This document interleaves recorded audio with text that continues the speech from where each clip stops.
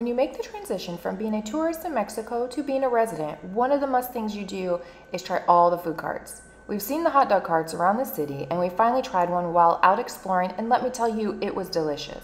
It's a bacon wrapped hot dog, the buns are warm, then come all the toppings tomato, onion, ketchup, cream, mustard, and you can't beat the price at $1.25. Don't forget to like and subscribe and comment down below.